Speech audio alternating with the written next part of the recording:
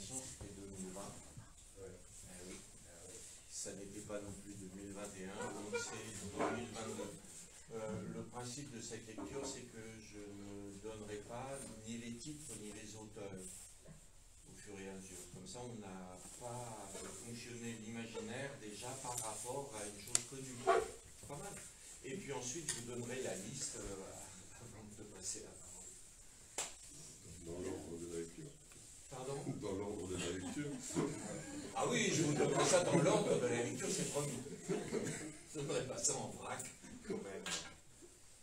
Voilà, donc ça, on est dans l'entrée. Entre la mangeuse ouranique, le mangeur d'ombre, la mangeuse onomate, le mangeur longi, l'homme rongeant son reste, Jean mangeoise, le mangeur carnatif, Jean mange tout, l'un des mangeurs de pierre et cailloux, le dévorateur blanc, le mangeur jaculier, Jean Adam, le soupirier potasse, la voratrice, les hominidés, l'enfant en verre, le mangeur spermier, les mangeurs de Ouida, le mangeur par la soi-disante bouche, les mangeurs usiers et pantalusiers, la personne creuse, le mangeur malheur, Jean dévorant, son mastiquier, les manœuvriers humains, le mangeur ablatif, deux des mangeurs plusieurs, Jean Carnasson, le mangeur utinal, le machevier lui-même, l'enfant impénitent, onomagre, la femme de viniviande, le fourchetier Olam, la valeur singulique, l'un des mangeurs d'Adam, sa mangeresse, l'enfant le mangiste, le parleur englouti, l'homme mordant ça, le rongeur par l'acier, le mangeur huit, Jean qui dévore corps. La discussion allait fâcheusement tourner lorsque nous entendîmes un barrissement puissant, les bruits précipités des sabots d'un périssodactyle, des cris, le miaulement d'un chat, presque simultanément nous vîmes apparaître puis disparaître, le temps d'un éclair, sur le trottoir opposé, un rhinocéros, soufflant bruyamment et fonçant à toute allure droit devant lui. Tout de suite après, surgit une femme, tenant dans ses bras une petite masse informe, sanglante. Il a écrasé mon chat, se lamentait-elle, il a écrasé mon chat. Des gens entourèrent la pauvre femme échevelée, qui semblait l'incarnation même de la désolation, la plaignir. Si ce n'est pas malheureux, s'écriait-il, pauvre petite bête.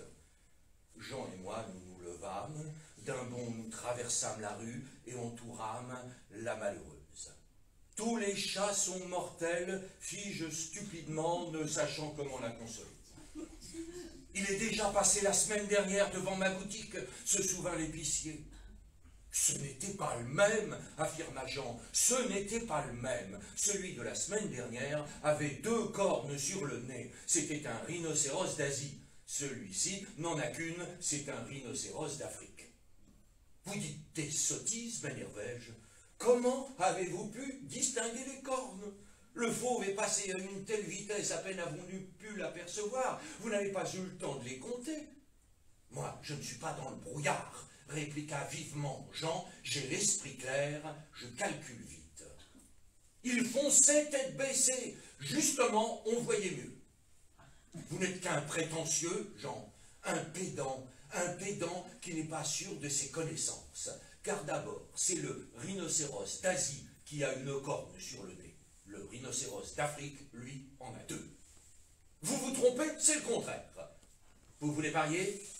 Je ne parie pas avec vous. Les deux cornes, c'est vous qui les avez, cria-t-il rouge de colère. Espèce d'asiatique, il n'en démordait pas. Je n'ai pas de cornes, je n'en porterai jamais, je ne suis pas asiatique non plus. D'autre part, les Asiatiques sont des hommes comme tout le monde. Ils sont jaunes cria-t-il hors de lui. Les quelques gens qui étaient là et nous avaient écoutés en avaient oublié le chat écrasé de la pauvre femme. Ils m'entouraient, discutaient, les uns soutenaient qu'en effet le rhinocéros d'Asie était unicorne et me donnaient raison. Les autres soutenaient au contraire que le rhinocéros unicorne était africain, donnant ainsi raison à mon préopinant. Là n'est pas la question, intervint un monsieur. Canotier, petite moustache, lorgnon, tête caractéristique du logicien. Il s'était tenu jusque-là de côté sans rien dire. Le débat portait sur un problème dont vous vous êtes écarté.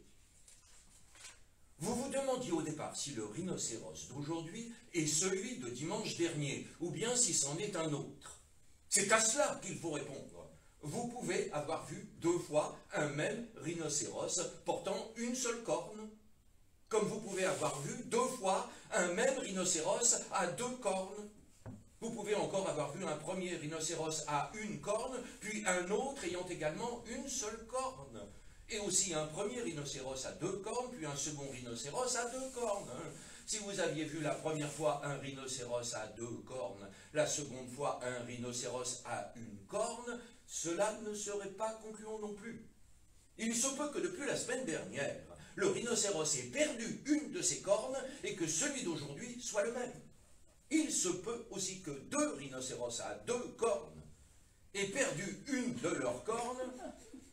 Bon, si vous pouviez prouver avoir vu la première fois un rhinocéros à une corne, qu'il fût asiatique ou africain, et aujourd'hui un rhinocéros à deux cornes, qu'il fût peu importe africain ou asiatique, à ce moment-là, nous pourrions conclure que nous avons affaire à deux rhinocéros différents.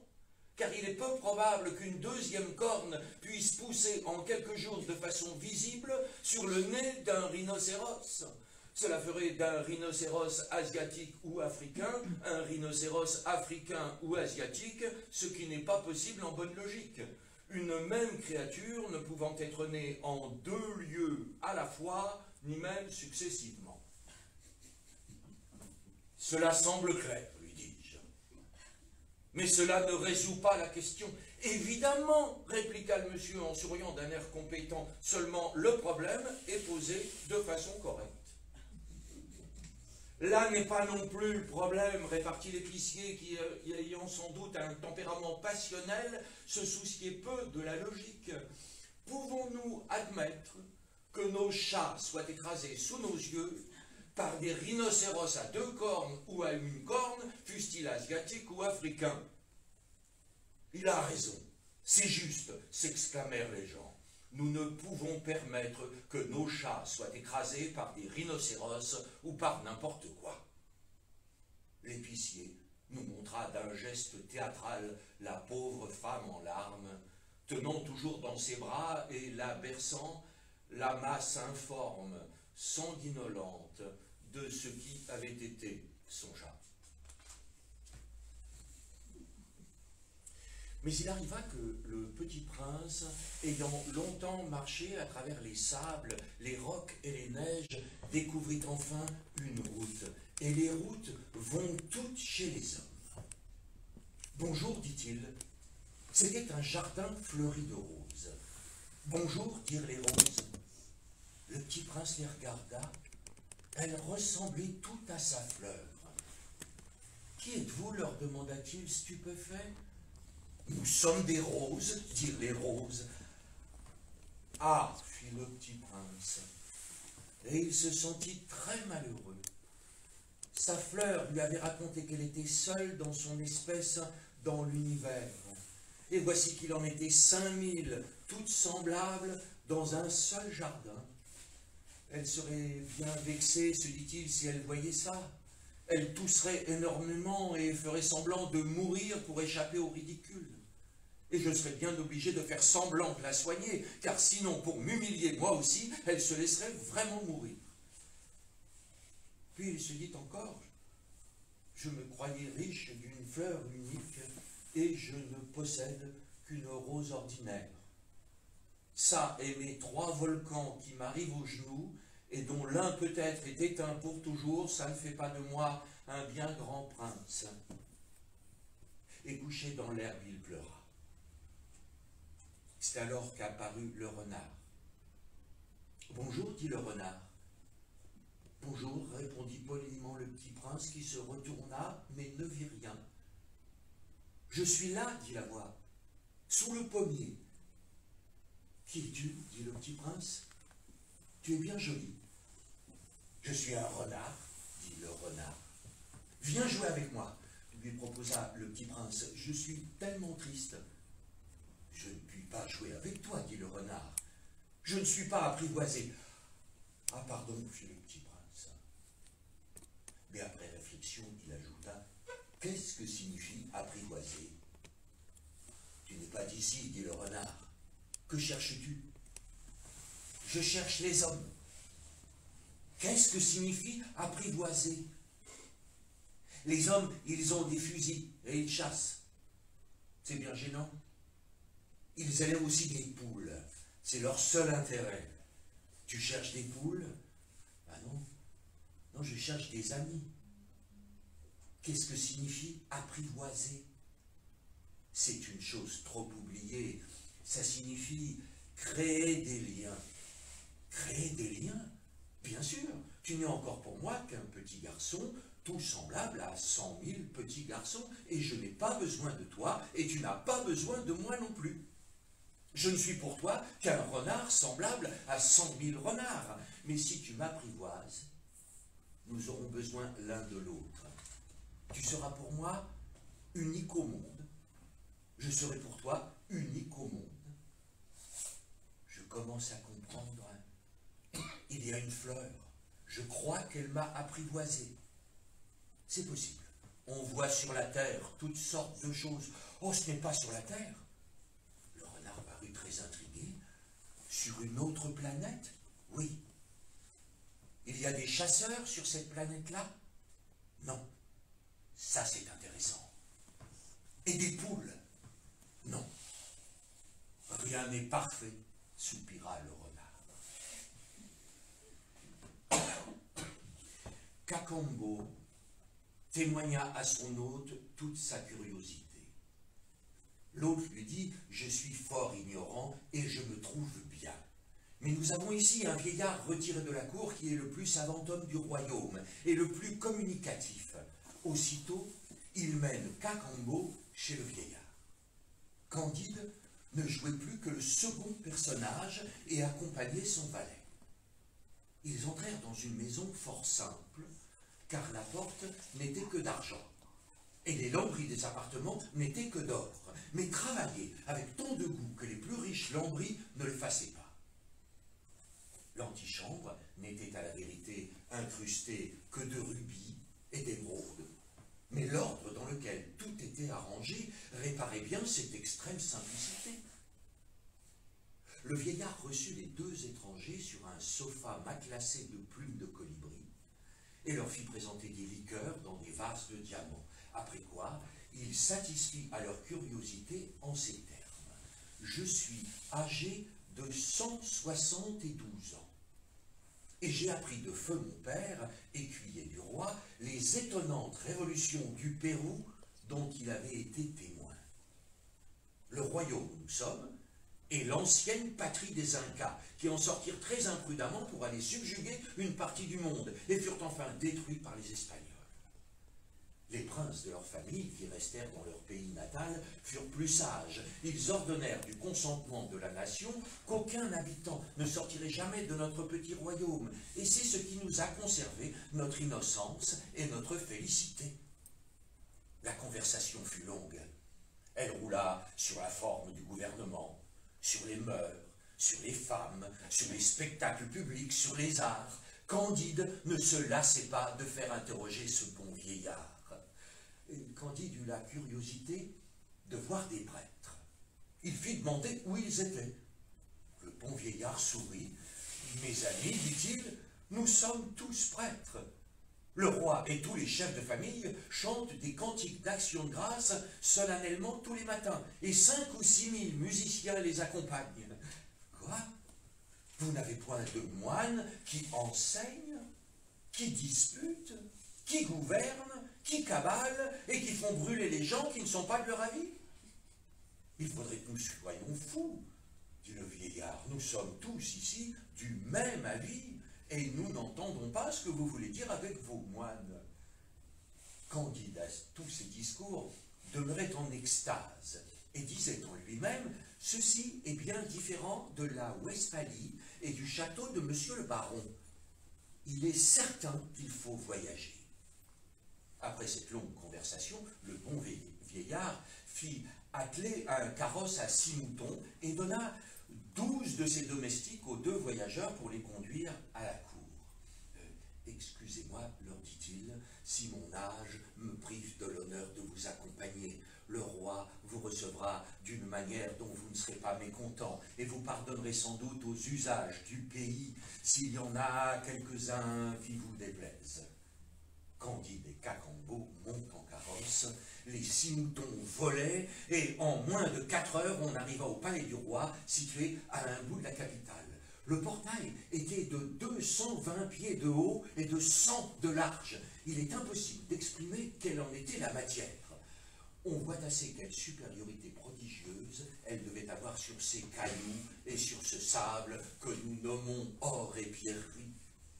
Quand ils approchèrent de la salle du trône, Cacambo demanda à un grand officier comment il fallait s'y prendre pour saluer sa majesté. Si on se jetait à genoux ou ventre à terre, si on mettait les mains sur la tête ou sur le derrière, si on léchait la poussière de la salle, en un mot, quelle était la cérémonie? L'usage, dit le grand officier, est d'embrasser le roi et de le baiser des deux côtés. Et Cacambo sautèrent au cou de sa majesté qui les reçut avec toute la grâce imaginable et qui les pria poliment à souper. En attendant, on leur fit voir la ville, les édifices publics élevés jusqu'aux nues, les marchés ornés de mille colonnes, les fontaines d'eau pure, les fontaines d'eau rose, celles de liqueur de canne de sucre qui coulaient continuellement dans de grandes places pavées d'une espèce de pierrerie qui répandait une odeur semblable à celle du girofle et de la cannelle. justice, le Parlement, on lui dit qu'il n'y en avait point et qu'on ne plaidait jamais. Il s'informa s'il y avait des prisons et on lui dit que non. Ce qui le surprit davantage et qui lui fit le plus de plaisir, ce fut le palais des sciences, dans lequel il vit une galerie de 2000 pas, toute pleine d'instruments de mathématiques et de physique.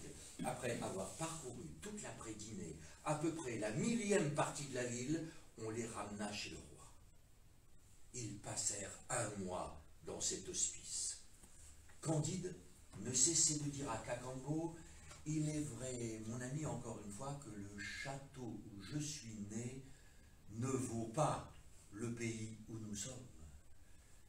Mais enfin, mademoiselle Cunégonde n'y est pas. Et vous avez sans doute quelques maîtresses en Europe. Si nous restons ici, nous n'y serons que comme les autres.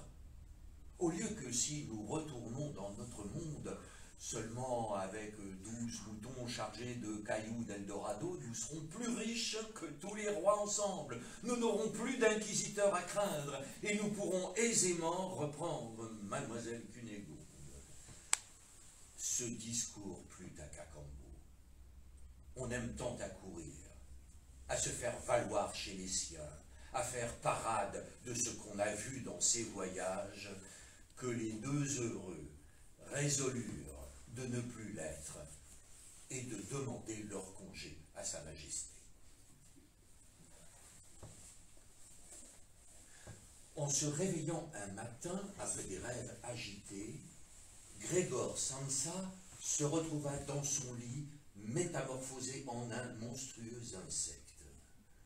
Il était sur le dos, un dos aussi dur qu'une carapace, et en relevant un peu la tête, il vit, bombé, brun, cloisonné par des arceaux plus rigides, son abdomen sur le haut duquel la couverture prête à glisser tout à fait ne tenait plus qu'à peine. Ses nombreuses pattes lamentablement grêles par comparaison avec la corpulence qu'il avait par ailleurs grouillait désespérément sous ses yeux. Qu'est-ce qui m'est arrivé pensa-t-il. Ce n'était pas un rêve. Sa chambre, une vraie chambre humaine, juste un peu trop petite, était là, tranquille, entre les quatre murs qu'il connaissait bien, au-dessus de la table où était déballée une collection d'échantillons de tissus, Samsa était représentant de commerce, on voyait accrocher l'image qu'il avait récemment découpée dans un magazine et mise dans un joli cadre doré. Elle représentait une dame munie d'une toque et d'un boa, tous les deux en fourrure, et qui, assise bien droite, tendait vers le spectateur un lourd manchon de fourrure où tout son avant-bras avait disparu. Le regard de Grégor se tourna ensuite vers la fenêtre, et le temps le rendit tout mélancolique. Et si je redormais un peu et oubliais toutes ces sottises Mais c'était absolument irréalisable, car il avait l'habitude de dormir sur le côté droit, et dans l'état où il était à présent, il était incapable de se mettre dans cette position.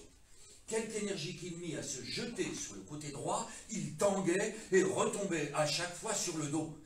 Il dut bien essayer cent fois, fermant les yeux pour ne pas s'imposer le spectacle de ses pattes en train de gigoter.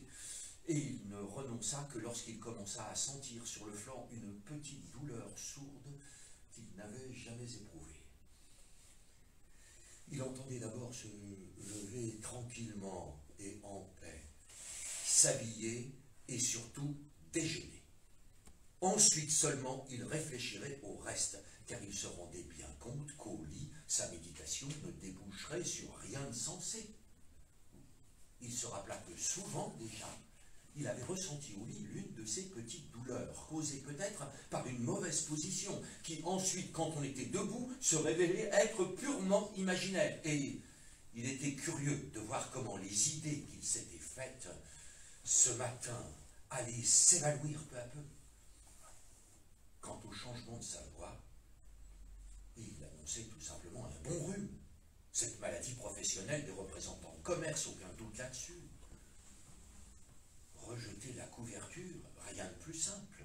Il n'avait qu'à se gonfler un peu, elle tomba toute seule. Mais la suite des opérations était plus délicate. Surtout parce qu'il était excessivement large. Il aurait eu besoin de bras et de mains pour se redresser. Or, au lieu de cela, il n'avait que ses nombreuses petites pattes sans cesse animées, des mouvements les plus divers et de surcroît impossibles à maîtriser. Voulait-il en plier une? Elle n'avait rien de plus pressé que de s'étendre. Et s'il parvenait enfin à exécuter avec cette patte ce qu'il voulait, les autres, pendant ce temps, avaient quartier libre et travaillaient toutes dans une extrême et douloureuse excitation. Surtout, ne pas rester inutilement au lit, se dit Grégor. Il voulut d'abord sortir du lit, en commençant par le bas de son corps. Mais ce bas, que du reste il n'avait pas encore vu, et dont il ne pouvait guère se faire non plus d'idée, se révéla trop lourd à remuer. Cela allait trop lentement. Et quand, pour finir, prenant le mort aux dents, il poussa de toutes ses forces et sans précaution aucune, voilà qu'il avait mal visé. Il heurta violemment le montant inférieur du lit. Et la douleur cuisante qu'il éprouva lui apprit à ses dépens que, pour l'instant, le bas de son corps en était peut-être précisément la partie la plus sensible. Il essaya donc de commencer par extraire du lit le haut de son corps et il tourna prudemment la tête vers le bord. Cela marcha d'ailleurs sans difficulté et finalement la masse de son corps, en dépit de sa largeur et de son poids, suivit lentement la rotation de la tête. Mais lorsqu'enfin Grégor tint la tête hors du lit, en l'air, il eut peur de poursuivre de la sorte sa progression, car si pour finir il se laissait tomber ainsi, il faudrait un vrai miracle pour ne pas se blesser à la tête. Et c'était le moment ou jamais de garder à tout prix la tête claire. Il aimait mieux rester au lit.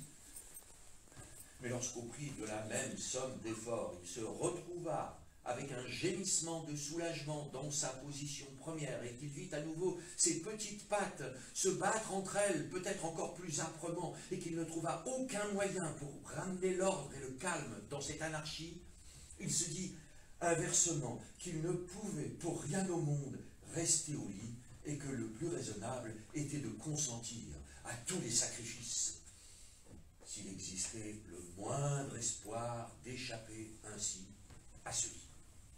Mais dans le même temps, il n'omettait pas de se rappeler qu'une réflexion mûre et posée vaut toutes les décisions désespérées. À de tels instants, il fixait les yeux aussi précisément que possible sur la fenêtre mais hélas, la vue de la brume matinale qui cachait même l'autre côté de l'étroite rue n'était guère faite pour inspirer l'allégresse et la confiance en soi. Déjà sept heures, se dit-il, en entendant sonner de nouveau la pendulette. Déjà sept heures et toujours un tel brouillard. Et pendant un moment, il resta calmement étendu, en respirant à peine, attendant peut-être que ce silence total restaurerait l'évidente réalité des choses.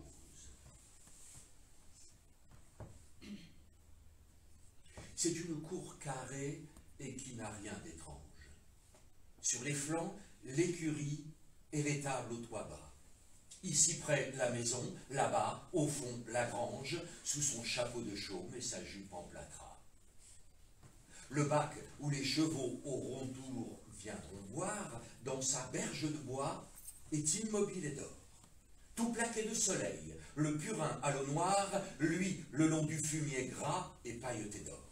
Loin de l'endroit humide où gît la couche grasse, au milieu de la cour, où le crottin plus sec, riche de grains d'avoine en poussière s'entasse, la poule l'éparpille à coups d'ongles et de bec.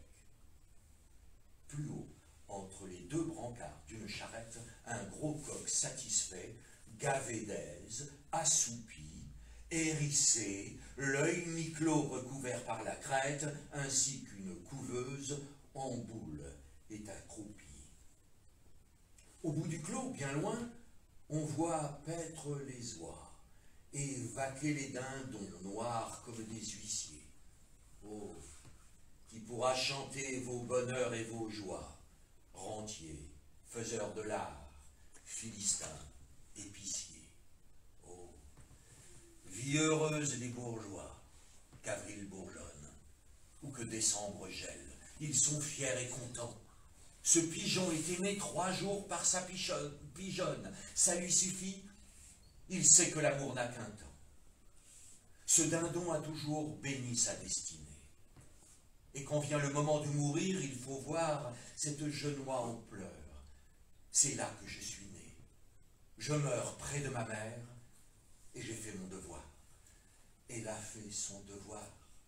C'est-à-dire que Onc, elle n'eut de souhait impossible, elle n'eut aucun rêve de lune, aucun désir de jonque, l'emportant sans rameur sur un fleuve inconnu.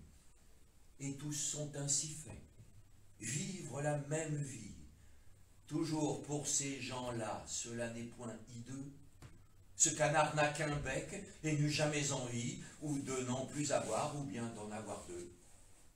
Oh, les gens bienheureux, tout à coup dans l'espace, si haut qu'il semble aller lentement, un grand vol, en forme de triangle, arrive, plane et passe. Où vont-ils? Qui sont-ils? Comme ils sont loin du sol. Regardez-les passer. Eux, ce sont les sauvages. Ils vont où leur désir le veut, par-dessus monts, et bois, et mer, et vent, et loin des esclavages. L'air qu'ils boivent ferait éclater vos poumons. Regardez-les. Avant d'atteindre sa chimère, plus d'un, l'aile rompue et du sang plein les yeux, mourra. Ces pauvres gens ont aussi femme et mère, et savent les aimer aussi bien que vous, mieux. Pour choyer cette femme et nourrir cette mère, ils pouvaient devenir volailles comme vous. Mais ils sont avant tout les fils de la chimère, des assoiffés d'azur, des poètes, des fous. Regardez-les, vieux coqs, genois édifiantes. Rien de vous ne pourra monter aussi haut qu'eux. Et le peu qui viendra, d'eux à vous, c'est leur fiente. Les bourgeois sont troublés de voir passer les lieux. Quand nous avons commencé cette étude, nous pensions que nous aurions affaire à des images, c'est-à-dire à des éléments de conscience. Nous voyons à présent que nous avons affaire à des consciences complètes, c'est-à-dire à des structures complexes qui intentionnent certains objets. Voyons si la réflexion ne peut nous apprendre davantage sur ces consciences. Le plus simple sera d'envisager l'image par rapport au concept et à la perception percevoir, concevoir, imaginer Tels sont en effet les trois types de conscience par lesquels un même objet peut nous être donné. Dans la perception, j'observe les objets. Il faut entendre par là que l'objet, quoi qu'il entre tout entier dans ma perception, ne m'est jamais donné que d'un côté à la fois. On connaît l'exemple du cube. Je ne puis savoir que c'est un cube tant que je n'ai pas appréhendé ses six faces. Je puis, à la rigueur, en voir trois à la fois, mais jamais plus. Il faut que je les appréhende successivement. Et lorsque je passe, par exemple, de l'appréhension des faces A, B, C à celle des faces B, C, D, il reste toujours une possibilité que la face A se soit anéantie durant mon changement de position. L'existence du cube demeurera donc douteuse. En même temps, nous devons remarquer que lorsque je vois trois faces du cube à la fois, ces trois faces ne se présentent jamais à moi comme des carrés. Leurs lignes s'aplatissent, leurs angles deviennent obtus et je dois reconstituer leur nature de carré à partir des apparences de ma perception. Tout cela a été dit cent fois. Le propre de la perception, c'est que l'objet n'y paraît jamais que dans une série de profils, de projections. Le cube m'est bien présent, je puis le toucher, le voir. Mais je ne le vois jamais que d'une certaine façon qui appelle et exclut à la fois une infinité de points de vue. On doit apprendre les objets, c'est-à-dire multiplier sur eux les points de vue possibles. L'objet lui-même est la synthèse de toutes les apparitions. La perception d'un objet est donc un phénomène à une infinité de faces.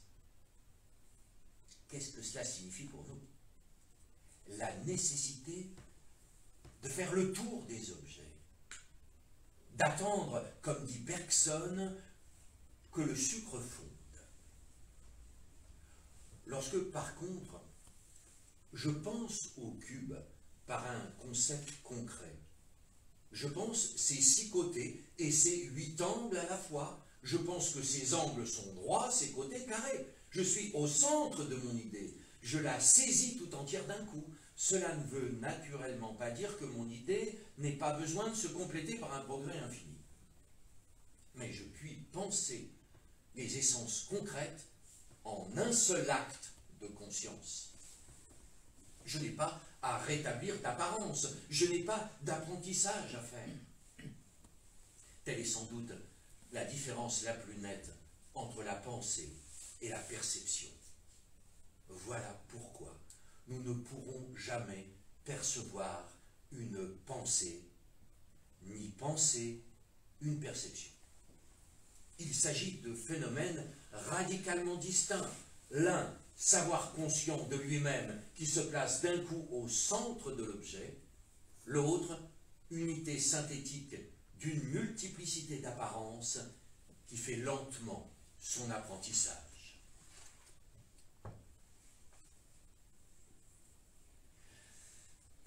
franchit les limites extérieures comme cet espace interne et spacieux, comme cette atmosphère intime et reposante. Voici par exemple un des conseils de la magie d'Henri Michaud. Je mets une pomme sur la table, puis je me mets dans cette pomme. Quelle tranquillité. Le jeu est si rapide que certains seront tentés de le déclarer puéril ou simplement verbal, mais en juger ainsi, c'est se refuser à participer à une des fonctions imaginaires les plus normales, les plus régulières, la fonction de la mise en miniature. Tout rêveur qui le voudra ira miniaturiser, habiter la pomme. On peut énoncer comme un postulat de l'imagination, les choses rêvées ne gardent jamais leur dimension, elle ne se stabilise dans aucune dimension. Et les rêveries vraiment possessives, celles qui nous donnent l'objet, sont les rêveries lilliputiennes. Ce sont les rêveries nous donnent tous les trésors de l'intimité des choses. Ici s'offre vraiment une perspective dialectique, une perspective renversée qu'on peut exprimer dans une formule paradoxale, l'intérieur de l'objet petit et grand Comme le dit Max Jacob, le minuscule, c'est l'énorme. Pour en être sûr, il suffit d'aller en imagination y habiter. Mes yeux s'y perdent. Elle est immense et pourtant si petite. Il n'a pas dépassé cet idéal du prestidigitateur qui fait lui aussi sortir le gros lapin du petit chapeau, ou comme l'autre est Hamon, la machine à coudre de la boîte au bistouri, pour étonner le bourgeois. Mais tous ces jeux littéraires, comme ils prennent plus de valeur si l'on s'y adonne avec la sincérité des expériences oniriques. Nous visiterons alors tous les objets. Nous suivrons la fée aux miettes dans son carrosse gros comme un petit pois, avec toutes les cérémonies des vieux temps, et nous entrerons dans la pomme, sans façon, en une phrase d'accueil. Un univers d'intimité nous sera révélé. Nous verrons l'envers de toute chose, l'immensité intime des petites choses. Il est des nuits où nous rentrons en nous-mêmes, où nous allons visiter nos organes. Cette vie onirique des intimités détaillées nous paraît bien différente de l'intuition traditionnelle des philosophes qui prétendent toujours vivre l'être qu'ils contemplent par le dedans. Cette adhésion massive à un vivre par le dedans va en effet tout de suite à l'unité de l'être envahi. Vous voyez, le philosophe se livrait à cette intuition. Il a les yeux mi-clos, l'attitude de la concentration. Il ne pense guère à s'éjouir, à s'ébattre dans sa nouvelle demeure. Aussi, les confidences sur ses vies objectives intimes ne vont jamais, jamais bien loin. Au contraire, comme les puissances oniriques sont plus diverses. Elles vont dans tous les plis de la noix. Elles en connaissent le gras des côtes et tout le masochisme des piquants intérieurs sur l'envers des coquilles. Comme tous les êtres doux, la noix se fait mal à soi-même. N'est-ce pas d'une telle douleur dont a souffert un Kafka par l'absolue sympathie qu'il eut pour ces images? Je pense à ces nuits au bout desquelles, extrait du sommeil, je m'éveillais avec la sensation d'avoir été enfermé dans une coquille de noix. Mais cette douleur de l'être intimement froissé, serré dans son intimité, est une note exceptionnelle. Jupiter dit un jour que tout ce qui respire s'en vient de comparaître au pied de ma grandeur.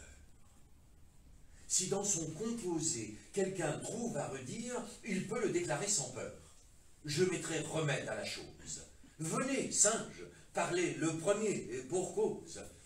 Voyez ces animaux, faites comparaison de leur beauté avec les vôtres. Êtes-vous satisfait? Moi, dit-il, pourquoi non? N'ai-je pas quatre pieds aussi bien que les autres? Mon portrait jusqu'ici ne m'a rien reproché. Mais pour mon frère l'ours, on ne l'a qu'ébauché. Jamais s'il me veut croire, il ne se fera peindre. L'ours venant là-dessus, on crut qu'il s'allait plaindre, tant s'en faut, de sa forme, il se loua très fort, glosa sur l'éléphant, dit qu'on pourrait encore ajouter à sa queue, ôter à ses oreilles, que c'était une masse informe et sans beauté. L'éléphant étant écouté, tout sage qu'il était, dit des choses pareilles. Il jugea qu'à son appétit, Dame Baleine était trop grosse. Dame Fourmi trouva le ciron trop petit, se croyant pour elle un colosse. Jupin les renvoya, s'étant censurés tous, du reste content d'eux. Mais parmi les plus fous, notre espèce excéda.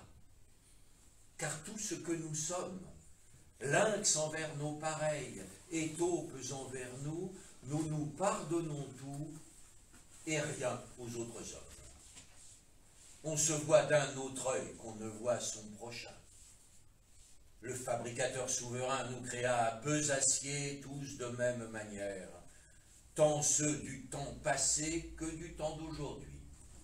Il fit pour nos défauts la poche de derrière et celle de devant pour les défauts d'autrui. Je vois un jour Photis accourir tout ému. Elle m'annonce que sa maîtresse, ayant échoué dans ses précédentes tentatives, avait résolu de se changer la nuit suivante en oiseau et d'aller sous cette forme trouver l'objet de sa passion, que j'eusse donc à me tenir prêt et qu'elle me ferait assister direct témoin à cette scène merveilleuse. En effet, vers la première veille, elle ne manque pas de me venir prendre, elle me mène à pas de loup jusqu'au réduit aérien, puis elle me place à une fente de la porte par où je pouvais tout voir. Pamphile commença par se dépouiller de tous ses vêtements. Ensuite, elle ouvrit un petit coffret et en tira plusieurs boîtes, ôta le couvercle de l'une, y prit une certaine pommade, s'en frotta longtemps la paume des mains, et se les passant sur tous les membres, s'en enduisit le corps de la plante des pieds à la racine des cheveux. Vint après un long colloque à voix basse avec sa lanterne. Soudain, elle imprime une secousse à toute sa personne, et voilà ses membres qui s'assouplissent et disparaissent, euh, d'abord sous un fin duvet, puis sous un épais plumage. Son nez se courbe et se durcit, ses ongles s'allongent et deviennent crochus. Pamphile est changée en hibou. Elle jette un petit cri plaintif et après quelques essais de vol à ras de terre, la voilà qui prend l'essor à tire d'aile. Lucius, fasciné par ce qu'il vient de voir, demande à Photis de le transformer à son tour en oiseau. Mais celle-ci se trompe dans le choix de la pommade magique. Après m'avoir répété cette instruction, elle se glisse dans le réduit, non sans trembler de tous ses membres. Elle prend dans le coffret une petite boîte dont je m'empare et que je baise en la suppliant de faire que je puisse voler. En un clin d'œil, je me mets nu et je plonge mes deux mains dans la boîte. Je les remplis de pommade et je me frotte de la tête aux pieds. Puis me voilà battant l'air de mes bras pour imiter les mouvements d'un oiseau. Mais de duvet, point. De plumes, pas davantage. Ce que j'ai de poils s'épaissit et me couvre tout le corps. Ma douce peau devient cuir. À mes pieds, à mes mains, les cinq doigts se confondent et s'enferment en un sabot. Du bas de l'échine, il me sort une longue queue, ma face s'allonge, ma bouche se fend, mes narines s'écartent et mes lèvres deviennent pendantes. Mes oreilles se dressent dans une proportion démesurée. Plus de moyens d'embrasser ma foutise. Mais certaines parties, et c'était toute ma consolation, avaient singulièrement gagné au champ.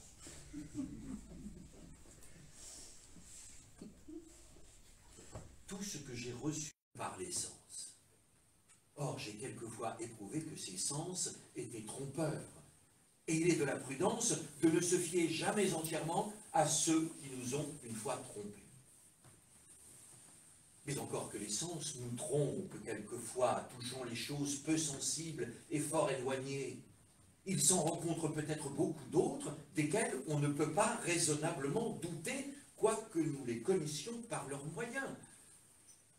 Par exemple, que je sois ici, assis auprès du feu, vêtu d'une robe de chambre, ayant ce papier entre les mains et autre chose de cette nature. Et comment est-ce que je pourrais nier que ces mains et ce corps-ci soient à moi? Si ce n'est peut-être que je me compare à ces insensés de qui le cerveau est tellement troublé et offusqué par les noires vapeurs de la bile qu'ils assurent constamment qu'ils sont des rois lorsqu'ils sont très pauvres, qu'ils sont vêtus d'or et de pourpre lorsqu'ils sont nus, ou s'imaginent être des cruches, ou avoir un corps de verre. Mais quoi? Ce sont des fous. Et je ne serais pas moins extravagant si je me réglais sur leurs exemples. Toutefois, j'ai ici à considérer que je suis homme, et par conséquent que j'ai coutume de dormir et de me représenter en mes songes les mêmes choses, ou quelquefois de moins vraisemblables que ces insensés lorsqu'ils veillent. Combien de fois m'est-il arrivé de songer la nuit que j'étais en ce lieu, que j'étais habillé, que j'étais auprès du feu, quoique je fusse tout nu dedans mon lit?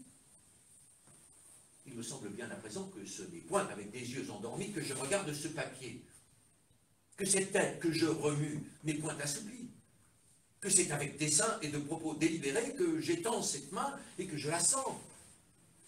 Ce qui arrive dans le sommeil ne semble point si clair, ni si distinct que tout ceci.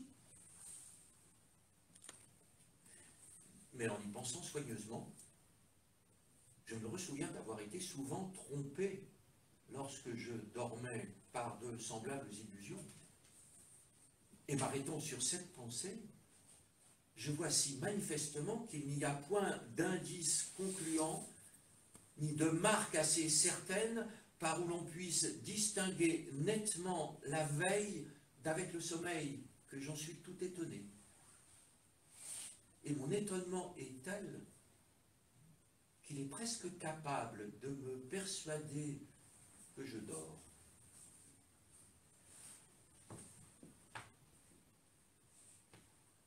Car le mot, qu'on le sache, est un être vivant. La main du songeur vibre et tremble en l'écrivant. La plume qui, d'une aile allongée l'envergure, frémit sur le papier quand sort cette figure. Le mot, le terme, type, on ne sait d'où venu, face de l'invisible, aspect de l'inconnu, créé par qui? Forgé par qui? Jailli de l'ombre, montant et descendant dans notre tête sombre, trouvant toujours le sens, comme l'eau, le niveau, formule des lueurs flottantes du cerveau. Oui, vous tous, comprenez que les mots sont des choses. Ils roulent pêle-mêle au gouffre obscur des proses, où font gronder le verre, orageuse forêt, du sphinx, esprit humain, le mot, c'est le secret. Le mot veut, ne veut pas, accourt, fait ou vacante, s'offre, se donne ou fuit, devant Néron qui chante ou Charles IX qui rime, il recule hagard. Tel mot est un sourire, et tel autre un regard. De quelques mots profonds, tout homme est le disciple, toute force ici-bas a le mot pour multiple, moulé sur le cerveau, vif ou lent, grave ou bref, le creux du crâne humain lui donne son relief. La vieille empreinte y reste auprès de la nouvelle. Ce qu'un mot ne sait pas, un autre le révèle. Les mots heurtent le front comme l'eau, le récif. Ils fourmillent, ouvrant dans notre esprit pensif des griffes ou des mains et quelques-uns des ailes, comme en un âtre noir errent des étincelles, rêveurs, Triste, joyeux, amer, sinistre, doux, sombre peuple, les mots vont et viennent en nous. Les mots sont les passants mystérieux de l'âme. Chacun d'eux porte une ombre ou secoue une flamme. Chacun d'eux du cerveau garde une région. Pourquoi? C'est que le mot s'appelle légion. C'est que chacun, selon l'éclair qui le traverse, dans le labeur commun, fait une œuvre diverse c'est que de ce troupeau de signes et de sons qu'écrivant ou parlant devant nous nous chassons, naissent les cris, les chants, les soupirs, les harangues, c'est que présent partout, nain caché sous les langues, le mot tient sous ses pieds le globe et la servie, et de même que l'homme est l'animal où vit l'âme, clarté d'en haut par le corps possédé, c'est que Dieu fait du mot la bête de l'idée.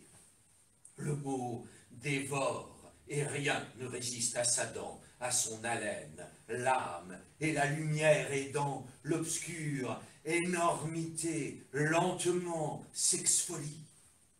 Il met sa force sombre en ce que rien ne plie. Quant au jour où la terre en trouverait sa corolle, le premier homme dit la première parole, le mot né de sa lèvre, et que tout entendit rencontra dans les cieux la lumière et lui dit, ma sœur, envole-toi, plane, sois éternelle, allume l'astre, emplis à jamais la prunelle, échauffe éther, azur, sphère, globes ardents, claire le dehors, j'éclaire le dedans, Tu vas être une vie et je vais être l'autre. Sois la langue de feu, ma sœur, je suis l'apôtre. Surgis, effare l'ombre, éblouis l'horizon, sois l'aube. Je te vaux, car je suis la raison. À toi les yeux, à moi les fronts, ô ma sœur blonde. Sous le réseau clarté, tu vas saisir le monde avec tes rayons d'or. Tu vas lier entre eux les terres, les soleils, les fleurs, les flots vitreux, les champs, les cieux, et moi, je vais lier les bouches. Et sur l'homme, emporté par mille essors farouches, tissé avec des fils d'harmonie et de jour, pour prendre tous les cœurs, l'immense toile d'amour. J'existais avant l'âme. Adam n'est pas mon père. J'étais même avant toi.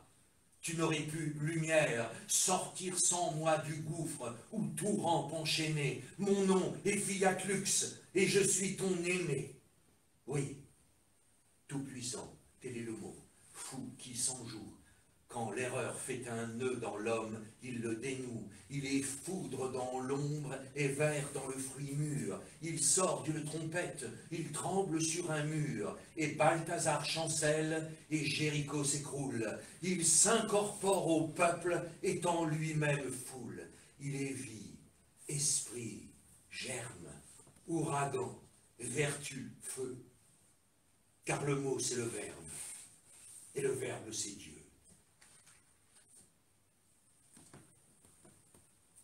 En ce moment, ils découvrirent 30 ou 40 moulins à vent qu'il y a dans cette plaine.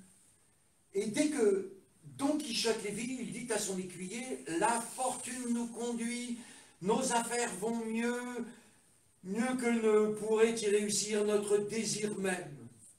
Regarde, ami Sancho, voilà devant nous au moins trente démesurés géants auxquels je pense livrer bataille et ôter la vie à tous tant qu'ils sont.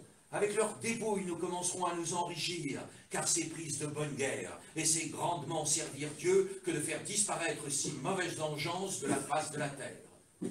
Quel géant? demanda Sancho Panza.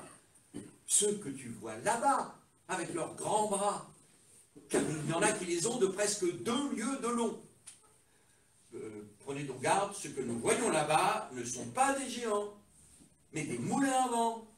Et ce qui paraît leurs bras, ce sont leurs ailes qui, tournées par le vent, font tourner à leur tour la meule du moulin.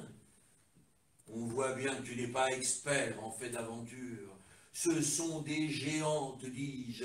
Si tu as peur, ôte-toi de là et va te mettre en oraison pendant que je leur livrerai une inégale et terrible bataille.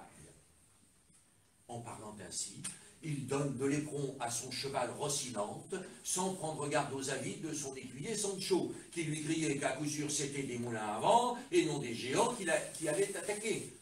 Pour lui, il s'était bien mis dans la tête que c'était des géants, que non seulement il n'entendait point les cris de son écuyer, mais qu'il ne parvenait pas, même en approchant tout près, à reconnaître la vérité. Au contraire, et tout en courant, il disait à grands cris ne fuyez pas, lâche et vile créature. C'est un seul chevalier qui vous attaque. Un peu de vent s'étant alors levé, les grandes ailes commencèrent à se mouvoir, ce que voyant Don Quichotte, il s'écria « Quand même, vous remueriez plus de bras que le géant Briaré, vous allez me le payer. » En disant ces mots, il se recommande du profond de son cœur à sa dame Dulcinée, la priant de le secourir en un tel péril. Puis, bien couvert de son écu et la lance en arrêt, il se précipite au plus grand galop de Rocinante contre le premier moulin qui se trouvait devant lui. Mais au moment où il perçait l'aile d'un grand coup de lance, le vent la chasse avec tant de furie qu'elle met la lance en pièces et qu'elle emporte après elle le cheval et le chevalier qui s'en alla rouler sur la poussière en fort mauvais état. Sancho pensa, accourut à son secours de tout le trot de son âne et trouva en arrivant près de lui qu'il ne pouvait plus remuer, tant le coup et la chute avaient été rudes. Miséricorde, n'avais-je pas bien dit à votre grâce qu'elle prit garde à ce qu'elle faisait, que ce n'était pas autre chose que des moulins à vent, et qu'il fallait, pour s'y tromper, en avoir d'autres dans la tête? Paix, Paix, ami Sancho. Les choses de la guerre sont plus que tout autre sujettes à des chances continuelles. D'autant plus que je pense, et ce doit être la vérité, que ce sage Freston qui m'a volé les livres le cabinet a changé ces géants en moulins pour m'enlever la gloire de les vaincre. Tant est grande l'inimitié qu'il me porte. Mais en fin de compte, son art maudit ne prévaudra pas contre la bonté de mon épée. Sur une mer imaginaire, loin de la rive, l'artiste en quête d'absolu joue les naufragés volontaires. Il est là, debout sur une planche qui oscille sur la mer. La mer est houleuse et la planche est pourrie. Il manque de chavirer à chaque instant. Il est vert de peur et il crie « C'est merveilleux, c'est le plus beau métier du monde !» Et pour se rassurer, il chante « Maman, les petits bateaux qui sur l'eau ont-ils des jambes ?» Et plouf, il tombe à l'eau. Il est rappelé à la dure réalité de la fiction. Lui qui se voyait déjà en haut de l'affiche, il se voit déjà en bas de la liste de ses chers disparus. Il a envie de crier « Un homme à la mer !» Mais comme l'homme c'est lui, et que lui c'est un artiste, et qu'il exerce le plus beau métier du monde, il crie « Et le spectacle continue !» Il remonte sur sa planche pourrie. Il poursuit sa quête de l'absolu. Maman, les petits bateaux qui vont sur l'eau. Et plouf, il retombe à l'eau. Il est ballotté comme une bouteille à la mer, à l'intérieur de laquelle il y a un message de détresse. Il a envie de crier « Une bouteille à la mer !» Mais comme la bouteille c'est lui, et que lui c'est un artiste, et qu'il exerce le plus beau métier du monde, il crie « L'eau est bonne !» Il remonte sur sa planche pourrie. Il a complètement perdu le nord. Il se croit sur la mer du même nom, la mer du Nord. Il fait la Manche. Toujours la quête de l'absolu. Maman, les petits bateaux qui vont sur l'eau. Et il retombe à l'eau.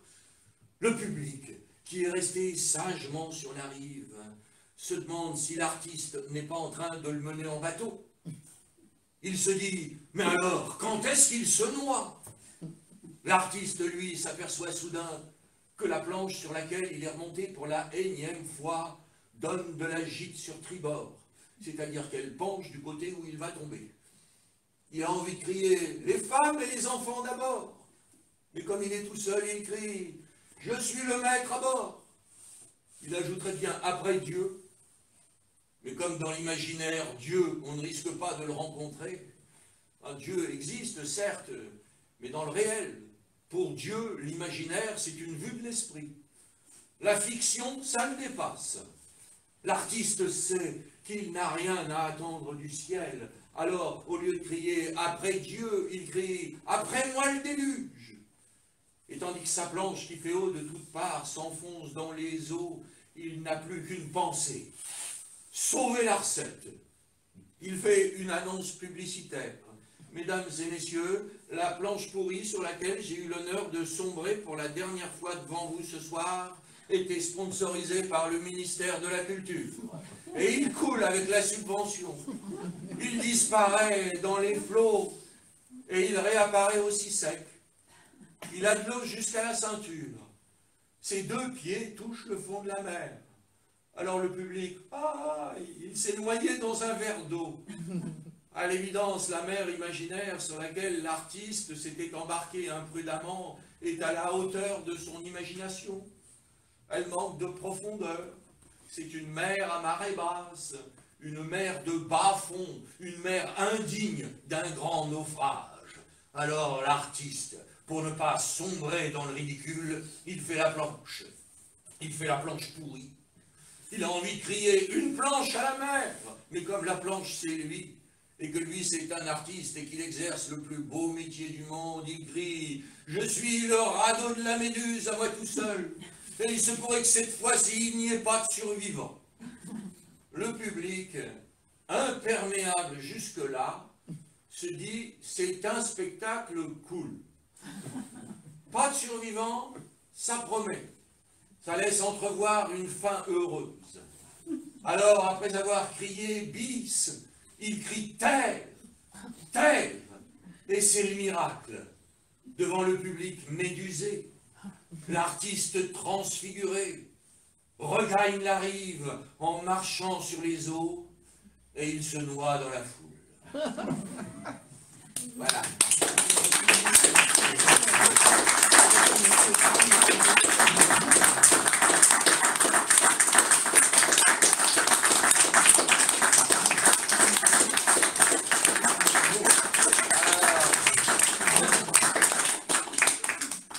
Alors on a démarré cette euh, avec le, repas de Valère Novarina, euh, un très magnifique, magnifique dramaturge, savez, comme ça. Et, ah ouais, sûr. Euh, Lettres aux acteurs euh, et tout ça. Euh, c'est une très très très belle langue et très particulière. Ensuite, on a eu le rhinocéros de l'UNESCO, mais non pas la, pièce, mais la, nouvelle qui date de 57 euh, et qui a donné lieu ensuite à, l'écriture de, la pièce Rhinocéros. Ensuite, nous, vous avez tous reconnu le Petit Prince de Saint-Exupéry. Ah, C'était facile. Ensuite, nous avions euh, Candide de Voltaire. Après, la métamorphose de Kafka. Les oiseaux de passage de Jean Richepin. J'aurais pu vous chanter aussi. hein, les bourgeois sont, en- troublés de voir passer les gueux. euh, Brassens en a fait une, une merveille. Ensuite, nous avions l'imaginaire, euh, le, le phénomène de quasi-observation de Sartre.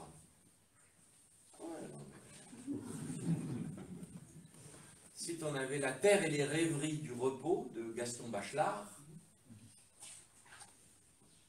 La besace de Jean de La Fontaine. Les métamorphoses ou l'âme d'or d'Apulé. Les méditations métaphysiques de mon ami René Descartes. Les contemplations de Victor Hugo le Don Quichotte de Cervantes, et enfin l'artiste de Raymond DeVos. Voilà.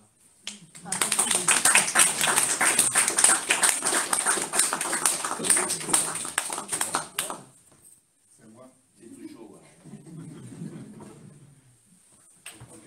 Le thème, c'était c'était l'imagination, euh, que, que Marc et, et Monique euh, m'ont avaient choisi. Donc, euh, donc c'est un, c'est un peu un, enfin, c'est une gageure pour le neurobiologiste. hein.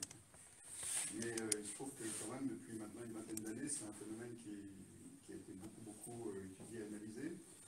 En fait, on peut commencer par Philosophe Sartre, parce qu'il pose, euh, la question euh, de façon à la fois philosophique et scientifique. par le problème de la perception, puisque effectivement, il n'y a pas d'imagination sans perception. Et surtout, en fait, dans le phénomène de, de perception, comme Sartre le dit très bien, il y a, ce qu'on perçoit et ce qu'on représente. Donc, ce qu'on perçoit, c'est grandeurs physiques euh, qui sont avec des angles, et ce qu'on représente, ce n'est pas ces grandeurs physiques, c'est un carré, un cube que l'on reconstruit. Donc, en fait, la perception, elle est toujours assortie d'un phénomène de reconstruction de ce qu'on ne voit pas.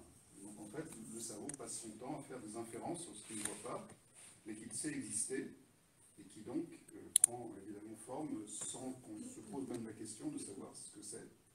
Comme le dit très bien Sartre, pour ça, il faut l'apprendre, ce n'est pas inné, et on apprend effectivement petit à petit à représenter le monde non pas tel qu'il est, mais tel qu'on le perçoit et qu'on le représente. Donc en fait, le phénomène d'imagination, si on, si y réfléchit bien, il est en fait absolument intrinsèque à la représentation du monde que se fait le cerveau. Et donc c'est un phénomène qui est très général, non seulement chez l'homme, mais chez probablement tous les animaux, puisque dans une certaine mesure, il faut être capable d'imaginer qu'on ne voit pas directement, mais qui existe. Donc il y a toujours dans tout phénomène de perception une part d'imagination. Et cet imaginaire, il est- il n'est pas, donné, il est appris. Donc ça veut dire qu'il faut que le, le- phénomène imaginaire, il est extrêmement lié, directement lié au phénomène de mémorisation. Et, euh, quand on, euh, analysé à la fois chez, chez les avec les techniques d'IRM fonctionnelles, par exemple, comme celles qui sont à neurospin. On peut analyser justement ces phénomènes de, perception et de mémorisation. Et pour aller vite, on se rend compte qu'effectivement, les régions du cerveau qui sont impliquées dans la représentation,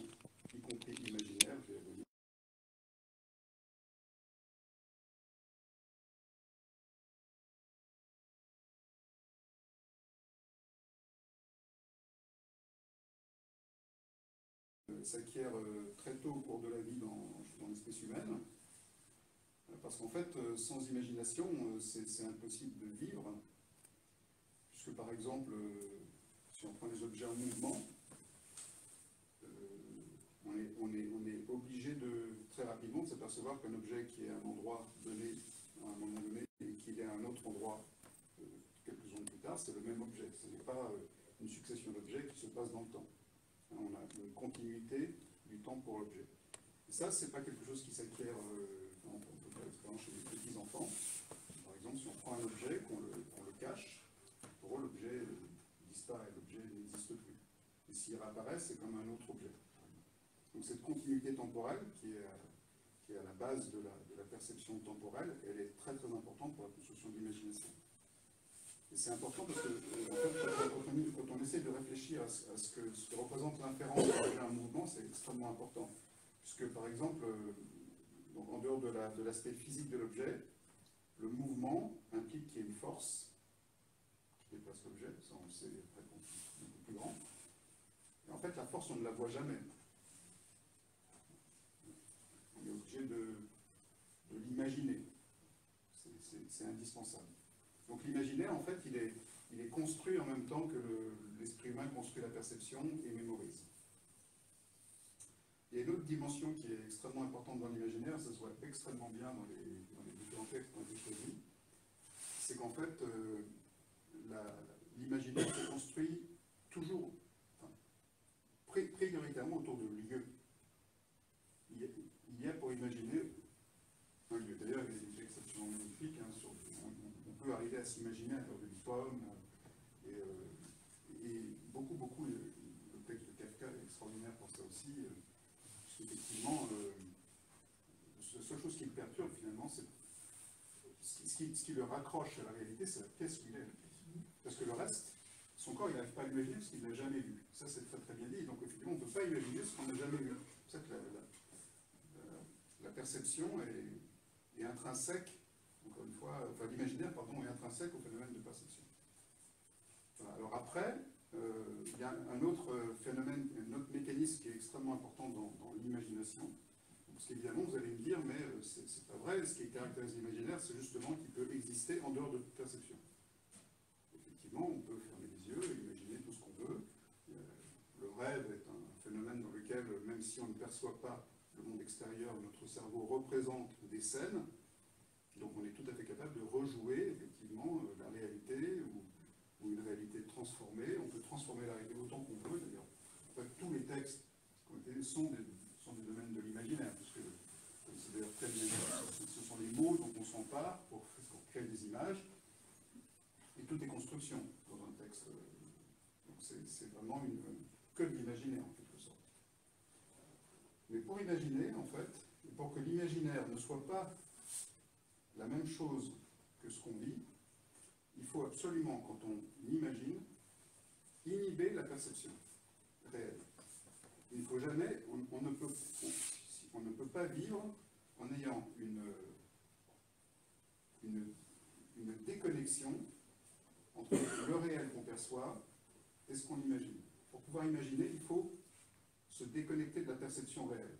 C'est indispensable, sans quoi euh, le, le réel et l'imaginaire entrent en collision, deviennent la même chose, et ça c'est typiquement ce qui se passe dans les dans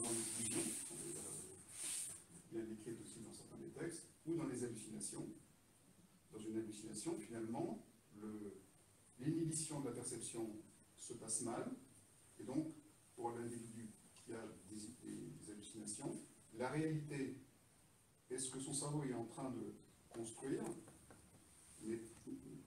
est, est sur le même plan. Et donc, il y a une très très grande. Ça, crée une angoisse terrible parce que, entre ce que l'on soi représente et la réalité, cette fois-ci, il n'y a plus de il n'y a plus de cette inhibition mutuelle qui fait que quand on imagine, on sait très bien que c'est une imagination, que quand on voit, on sait très bien que c'est la réalité. Si ce n'est pas possible, eh bien effectivement, euh, le, le, la vie est extrêmement, extrêmement difficile. Hein, donc le, le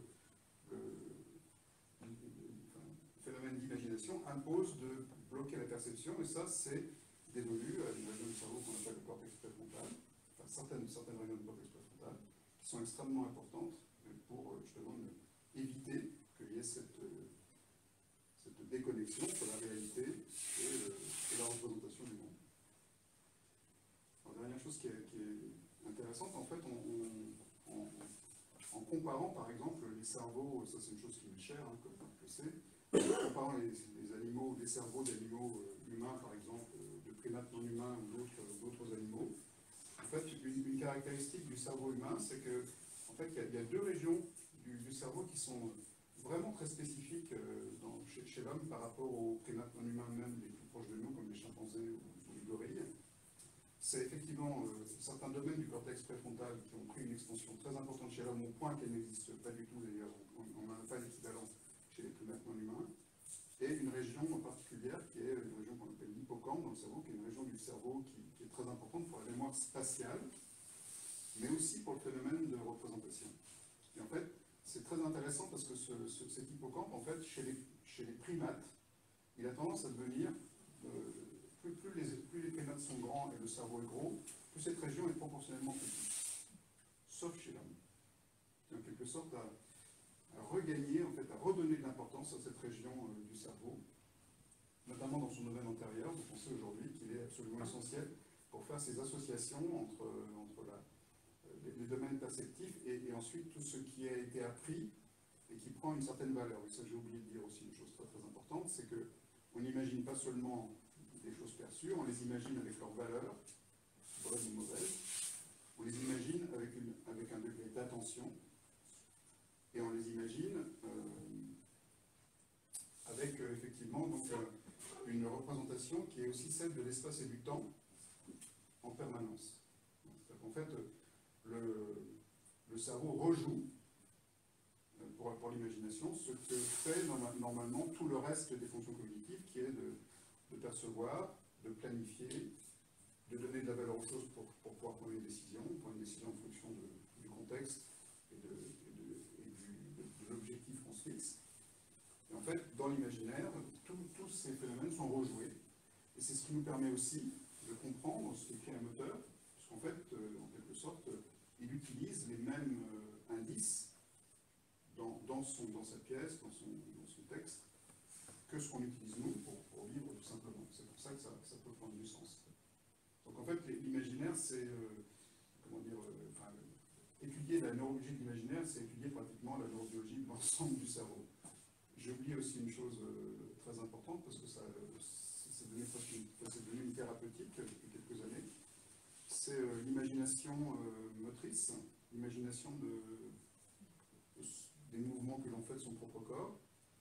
Ça, c'est une observation qui avait été faite par un Français, Marc Jeannot, un grand monsieur, qui, avait, qui avait en fait, en enregistrant des singes, s'était rendu compte, lui et d'autres, qu'en fait, quand un, quand un singe regarde un autre singe faire un mouvement, en fait, ce sont les mêmes neurones qui s'activent dans le cerveau du singe qui regarde que dans le cerveau du singe qui fait, ce qu'on appelle parfois les neurones miroirs.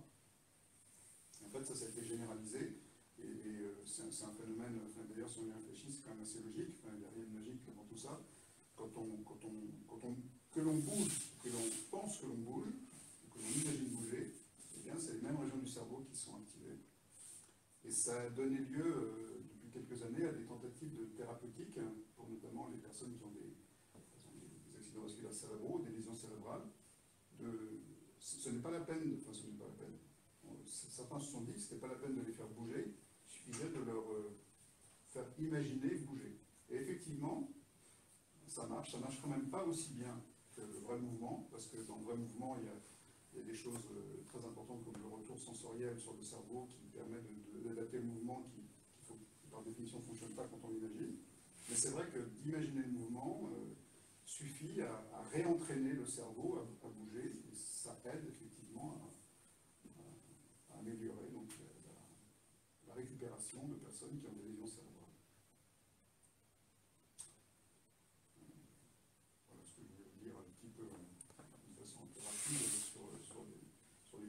aujourd'hui. Euh, oui, et donc je crois que j'ai insisté là-dessus. L'imaginaire est presque toujours euh, localisé. Ça, c'est quelque chose qui est extrêmement frappant. Et quand, quand dans certains textes, il n'y a pas de, relation au, au, lieu, le texte est encore, prend un caractère étrange. C'est le texte de Novarina, par exemple, au début, où c'est D'abord, c'est des mots qui n'existent pas vraiment, etc.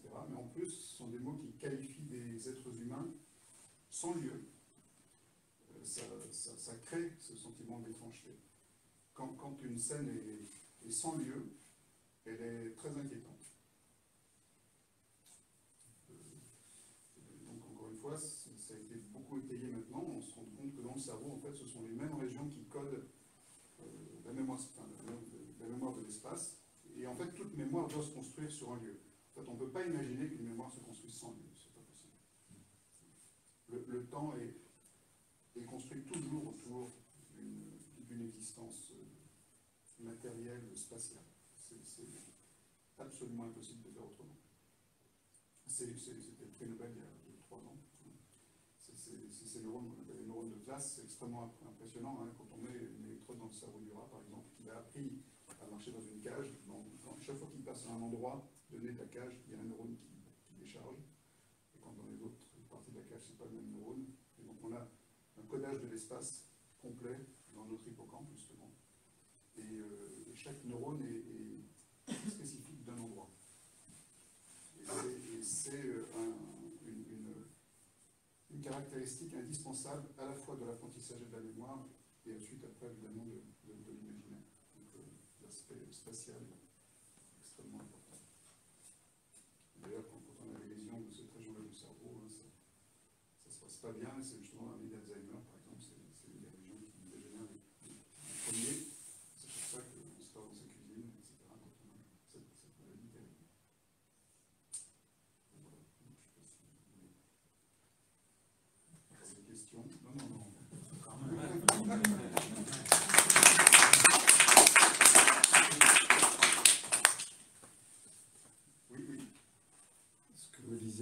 L'instant sur euh, euh, mémorisation et, lieu a des conséquences énormes sur l'apprentissage de, tout un tas de choses. Oui.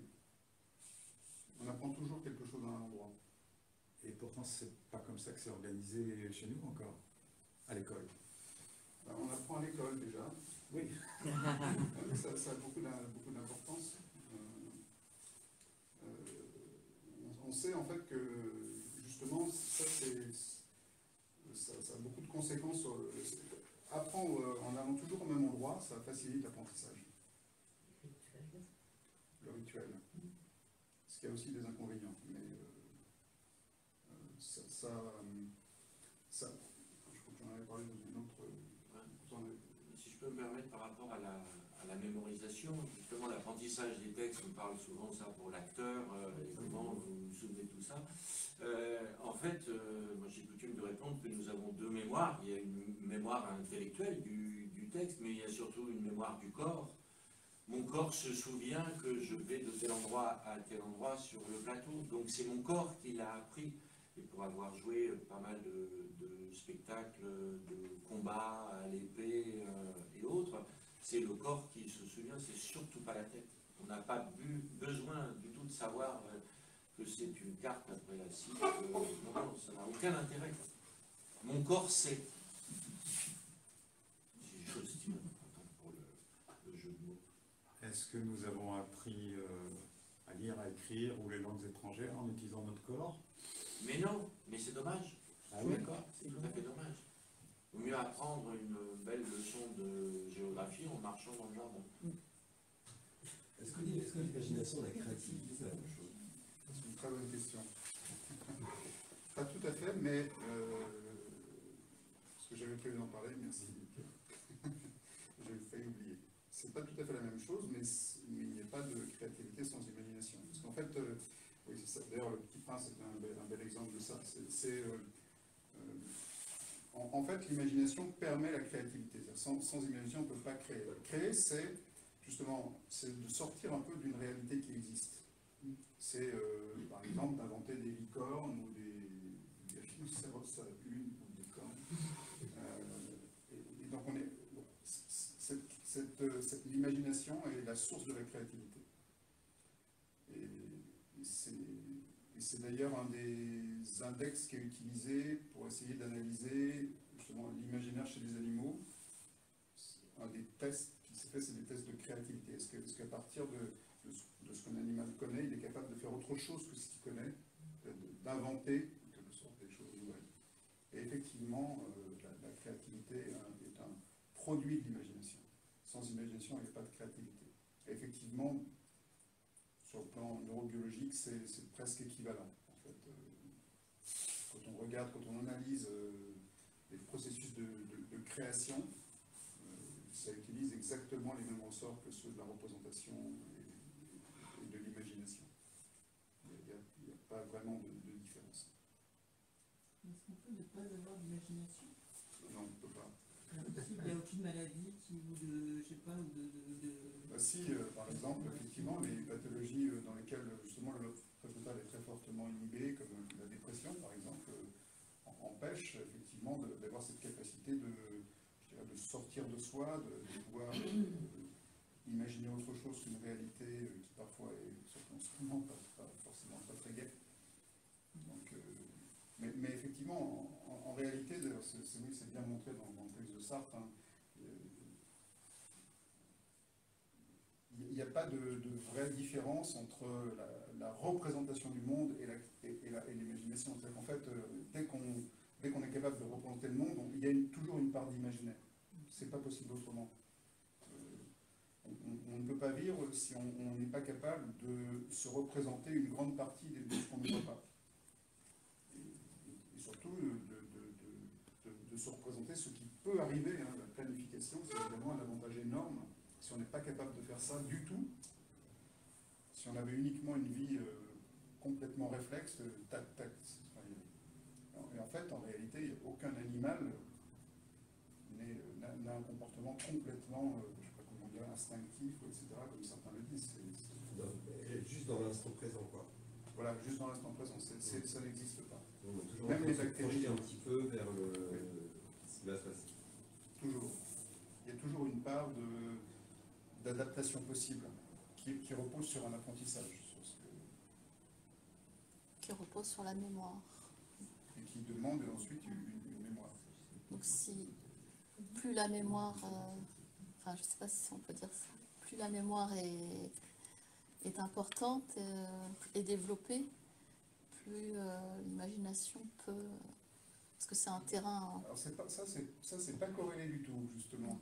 Euh, parce que, parce qu'en fait, on, on peut être tout à fait capable d'imaginer. euh, en- fait, pour imaginer, il faut, il faut avoir appris un, un minimum ce qu'est le monde et de se le représenter. En revanche, la capacité de, de retenir beaucoup de choses différentes et ensuite de pouvoir les. Parce qu'en fait, euh, comme je crois que j'avais expliqué ceux qui mémoire. ce qui est important dans la mémoire, c'est pas la mémorisation, hein. c'est la, c'est la, remi- la- la réminiscence. Euh, Une, une mémoire sans réminiscence, ça ne sert absolument à rien. Si on stocke dans une mémoire d'ordinateur quelque chose qui ensuite n'est jamais utilisé, ça, ne- sert absolument à rien. Le, problème de la mémoire, c'est pas la mémoire, c'est la réminiscence. C'est comment est-ce qu'on ressort euh, ce qui a été appris. Et, donc en fait, l'imaginaire utilise ce qu'on a appris. Mais on n'a pas besoin d'avoir une mémoire d'éléphant pour, euh, pour, pour imaginer. Ça, ça, non. Et d'ailleurs, euh, c'est très frappant chez les, chez les enfants, qui ont, une imagination débordante, en fait, parce qu'elle est, parce que c'est une, parce qu'en fait, justement, euh, y a dans l'apprentissage, il y a aussi l'apprentissage de la valeur des choses. Et les enfants n'ont pas encore appris, ils ne savent pas encore complètement corréler ce qu'ils peuvent imaginer et la valeur que ça peut avoir. C'est pour ça que les enfants peuvent avoir extrêmement peur de choses quand on, quand on est devenu raisonnable, parce que justement on a petit à petit appris que certaines choses, même s'il y a des craquements dans l'appartement, c'est pas parce qu'il y a des fantômes ou je sais pas quoi qu'on peut, c'est que ça peut simplement arriver comme ça. Donc petit à petit on, apprend à, avec ses émotions à, les, rendre adéquates à, la réalité. Mais effectivement, un enfant est capable de mesurer beaucoup, mais il n'a pas encore appris énormément de choses. Et pourtant, il a énormément d'imagination. Est-ce que Est-ce que le comportement des chiens avec l'odorat, est-ce que c'est un problème de représentation, un problème de mémoire, c'est euh, ou d'imaginaire Est-ce que euh, est-ce qu'il imagine Est-ce qu'il se représente ou est-ce qu'il euh, Ah oui, oui, tous, les animaux se, se représentent, c'est- certain. Un, chi- un chien, oui, oui, il, ne- peut pas euh, connaître le monde euh, uniquement par euh, son sens immédiat. Il a, évidemment une représentation qui est liée à, la mémoire qu'il a, acquise, comme, tous les animaux qui apprennent. Mais nous-mêmes, quand on, perçoit une odeur agréable, par exemple, une relation avec l'imaginaire. Ben, tout, tout- tout l'imaginaire, comme je, je dis, effectivement, je devrais insister là-dessus, l'imaginaire est toujours lié à la perception. Toujours. Donc, il y a toujours une entrée sensorielle à la perception. C'est- voilà. Et effectivement, ensuite, après, le, le problème, et ça c'est un problème qui n'est pas lié à la perception, qui est lié au- à, à la mémoire, on en avait euh, déjà beaucoup, moi je ne vais pas refaire le Proust une, une 45e fois, mais, mais encore une fois, Proust a absolument tout dit sur ce phénomène de lien entre la perception et la mémoire, donc euh, oui, la, la- mais, mais même, euh, donc, donc, donc en fait, effectivement, le fait de percevoir est- peut, peut être un, un moyen de, de susciter de l'imagination. C'est vrai qu'une odeur peut vous faire imaginer des tas de choses euh, en, en elle-même qui n'existent pas. L'odeur de la rose peut suffire à imaginer la rose sans qu'on la voie. Ça, ça c'est ça, c'est certain. Ça peut évoquer des souvenirs aussi. oui, justement, c'est parce que en fait, le phénomène imaginaire repose toujours sur, sur l'existence de la possibilité de représenter. Et cette représentation, elle peut être déclenchée par des choses extrêmement ténues. Et c'est aussi très bien dit dans certains textes où les mots, finalement, euh, à partir de. finalement, le, mot, c'est un, concept complètement abstrait, ce sont des sons dont on a appris le sens et manipulés dans un certain contexte nous évoquent euh, tout un ensemble de dont les artistes savent s'emparer. Donc effectivement, le, phénomène imaginaire, il, peut naître euh, soit à partir d'une sensation euh, très très faible qui nous permet d'imaginer tout le reste, de reconstruire tout le reste d'une scène, ou d'à partir de rien du tout. On peut tout à fait imaginer, vous le savez très bien, des tas de choses sans aucune entrée sensorielle. Mais le mécanisme est le même que lorsque l'on se représente un objet réel.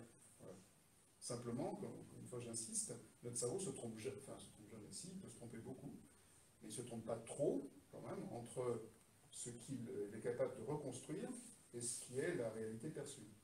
Et heureusement, parce que si on était tout le temps en train d'imaginer quelque chose qui n'existe pas, c'est ce qui est le cas du schizophrène, en tout cas dans, sa- dans les périodes de- de- d'hallucination, c'est extrêmement perturbant.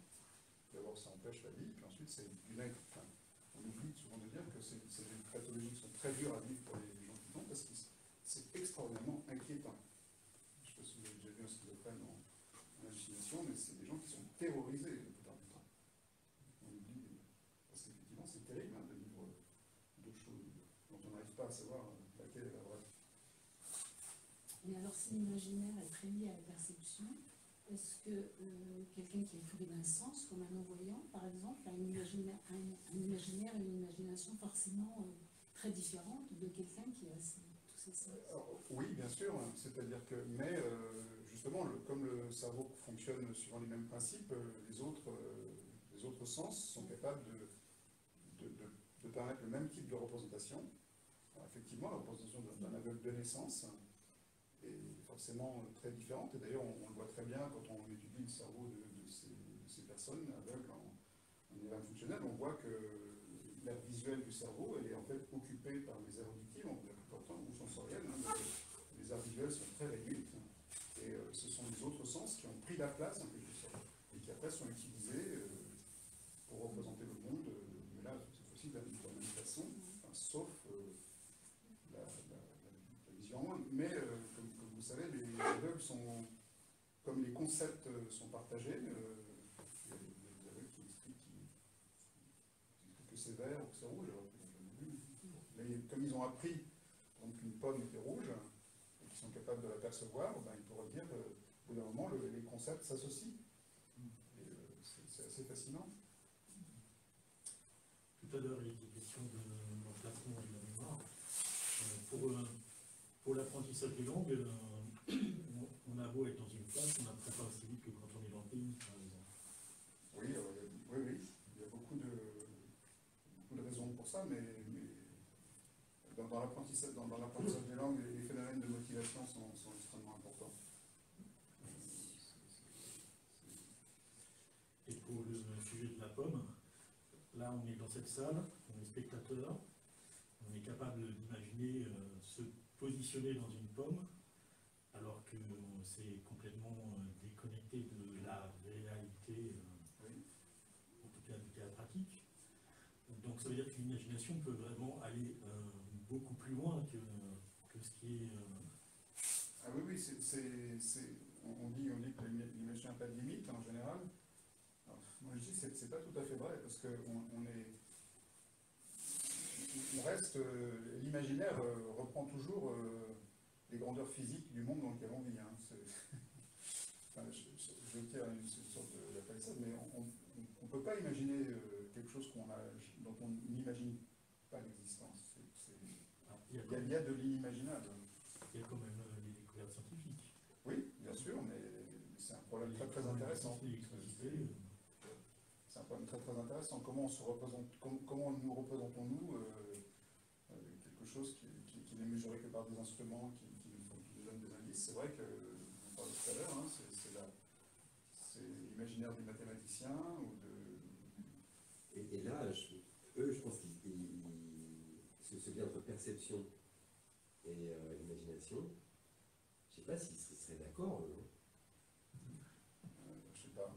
Je- mais mais c'est, pourrais essayer de leur expliquer que c'est pas, c'est pas contradictoire. En, en fait, euh, justement, enfin, en discutant avec euh, des mathématiciens, il se trouve qu'à Neurospin, notre ami Stanislas Dehaene étudie beaucoup les mathématiques, que vous savez sans doute. En fait, quand, quand on, quand on analyse la manière dont. En fait, les mathématiciens euh, se représentent quand même. hein.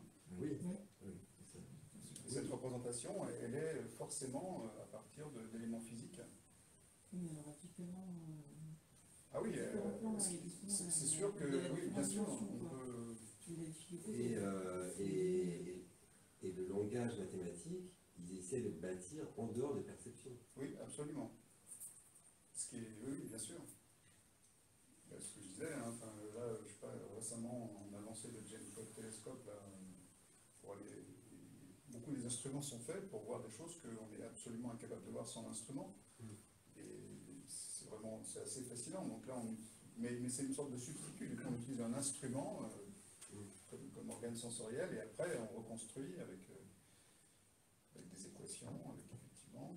Mais, mais ce, qui est, ce qui est aussi assez extraordinaire, même en, en mathématiques, euh, euh,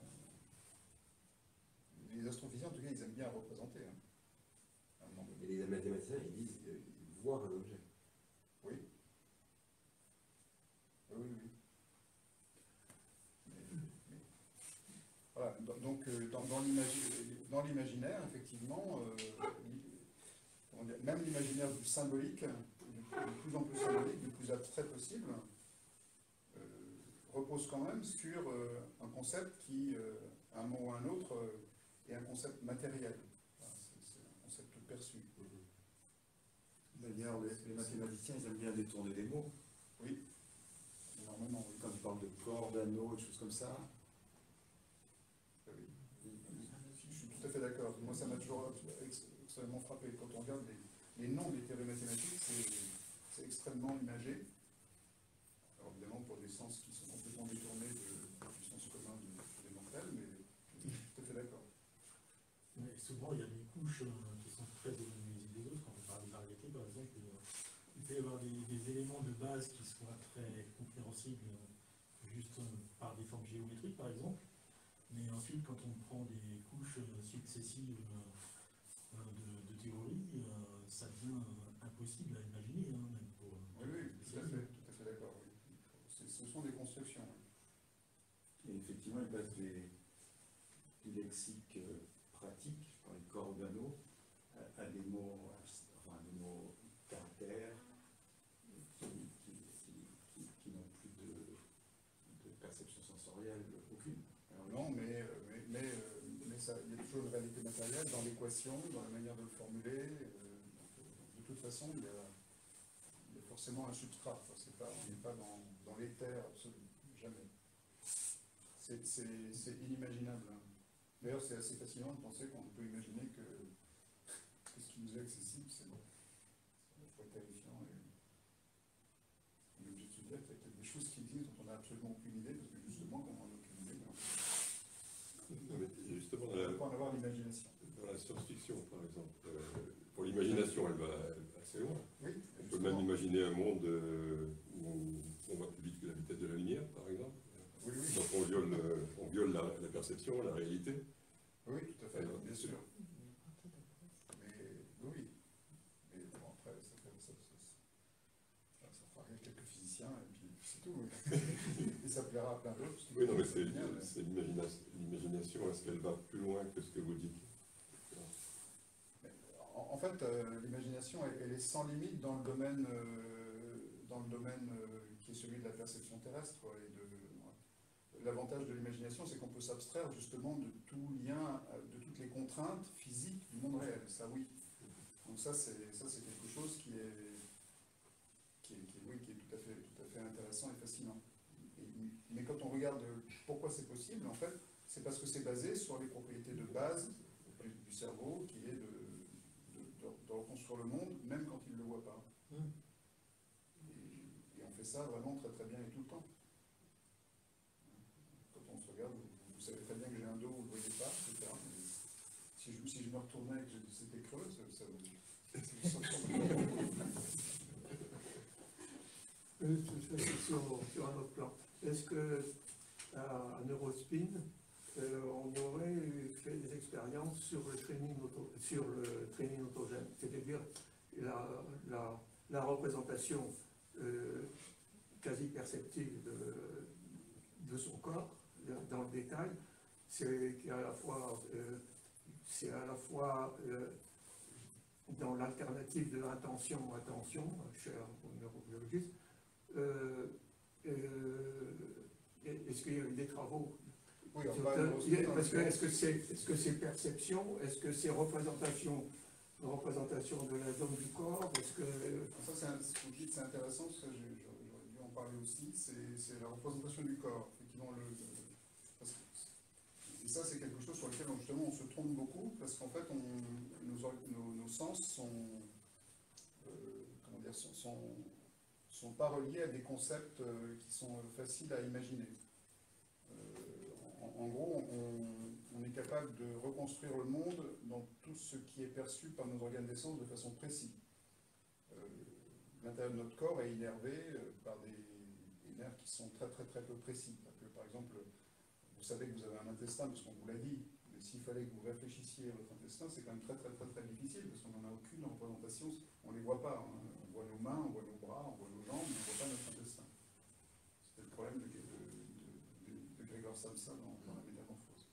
Il ne peut imaginer ce qu'il ne voit pas. Donc, euh, effectivement, ça, fait partie de ce qu'on appelle la perception inconsciente.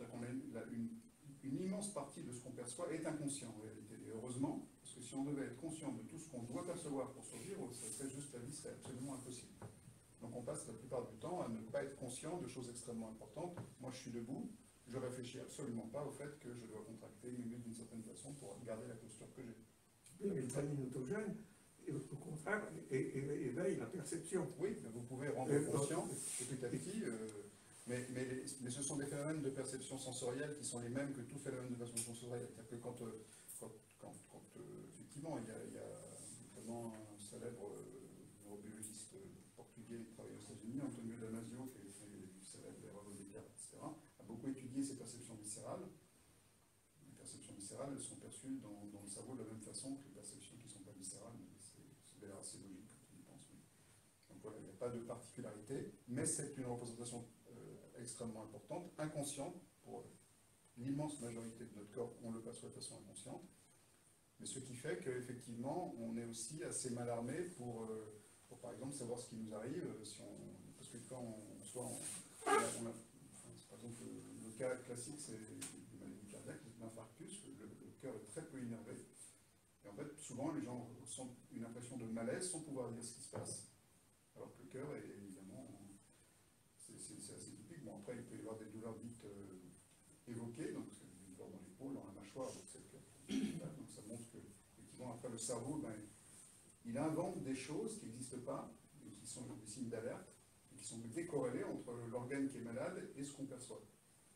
Donc là, et en même temps, cette perception, euh, l'interoception, la perception du, corps, elle est, euh, et pourtant absolument indispensable. Et on voit très bien qu'elle est indispensable parce qu'un un- un petit bébé, avant qu'il sache marcher, par exemple, en fait, ben, ce qu'il fait, en fait, c'est qu'il apprend à représenter son corps dans son cerveau jusqu'au moment où tout est à peu près en place, où il marche, et où après, petit à petit, il n'y a plus d'ambiguïté entre son propre corps et l'espace dans lequel il vit. Encore une fois, la- l'apprentissage et la mémorisation a une dimension spatiale extrêmement importante qui, qui est évidente quand on y pense et qui a mis, euh, comme souvent en science, des années. on- je- chose qui me fascine, c'est qu'on met, on met des, des- des siècles à découvrir des évidences absolues.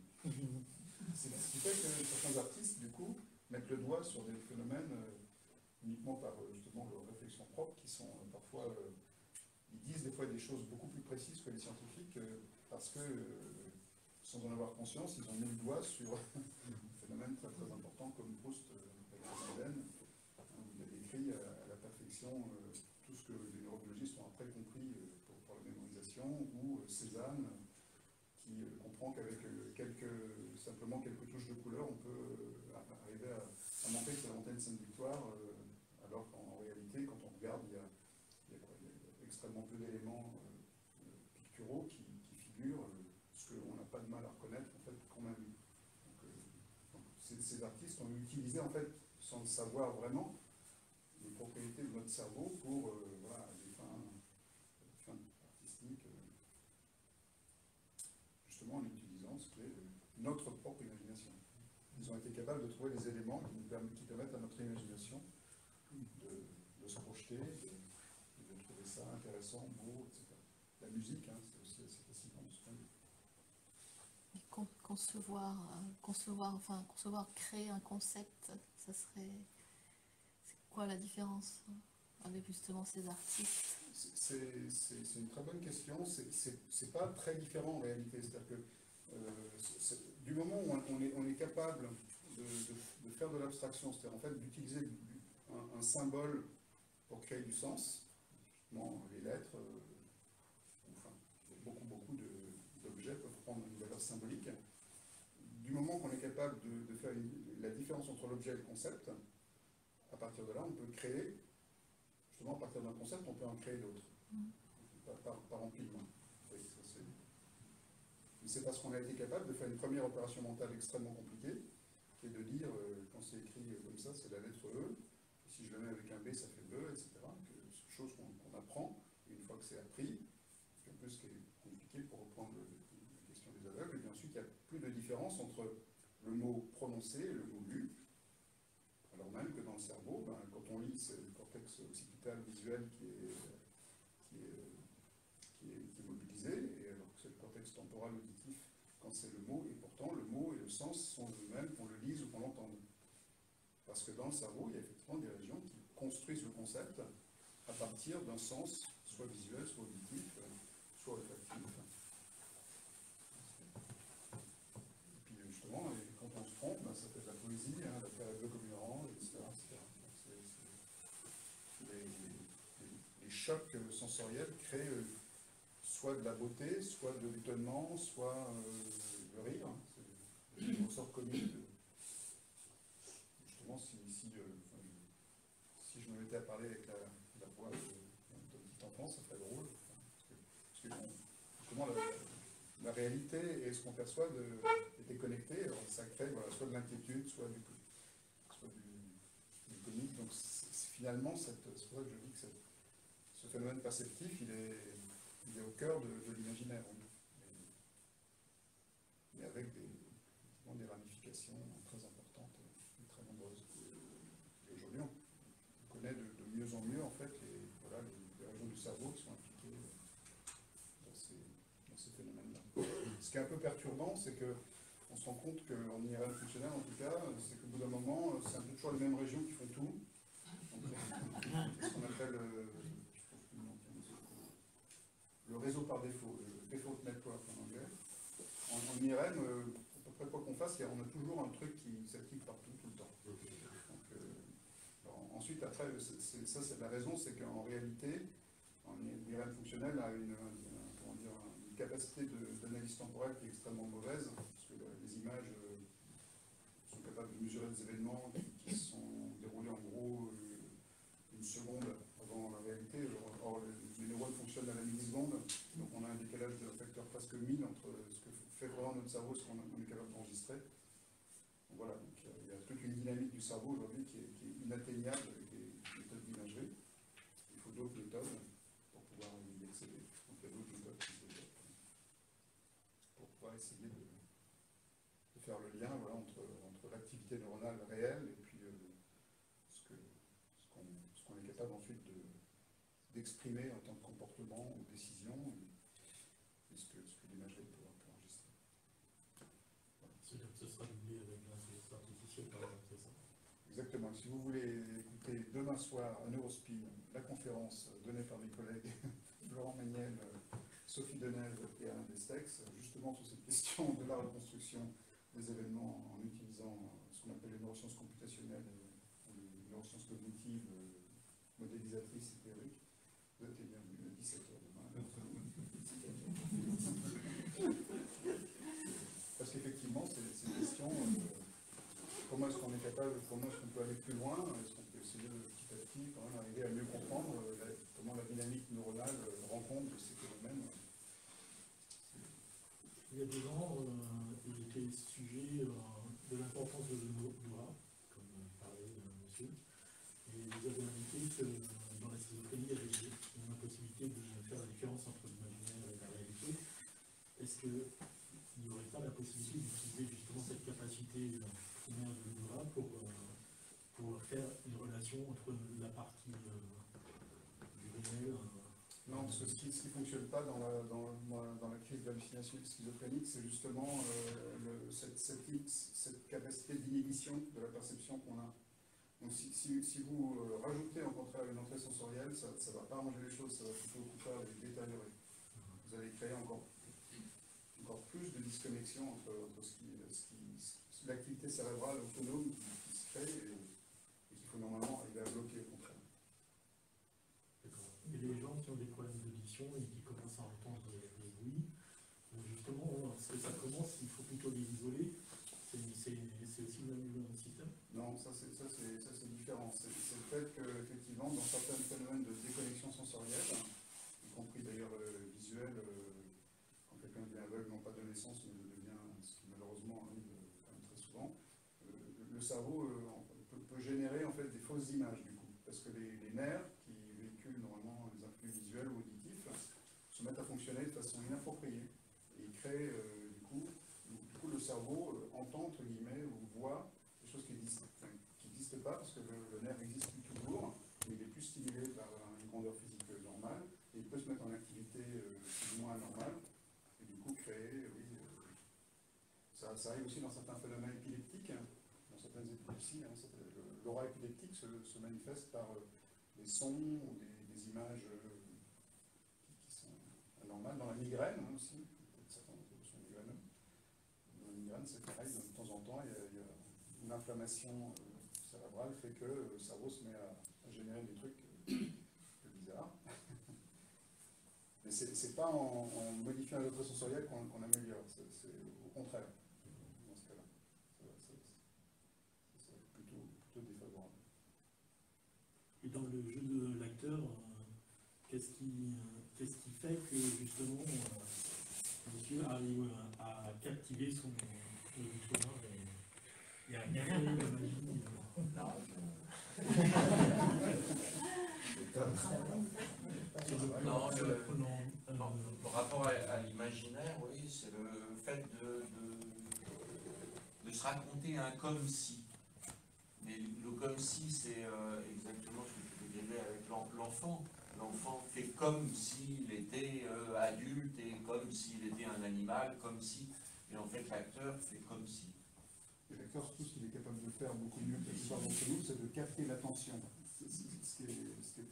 Moi, ce qui me fascine chaque fois que je t'écoute, Patrick, c'est justement que tu, arrives, les textes sont quand même, relativement long, et euh, moi, en tout cas, je suis attentif tout le temps, ce n'est pas forcément le cas dans certaines conférences.